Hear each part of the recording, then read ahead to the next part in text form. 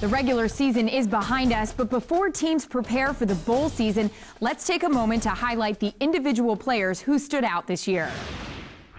The highest individual honor of the evening is the Heisman Trophy. Four finalist lists in four years for our student athlete is just as impressive as winning the second trophy of his career.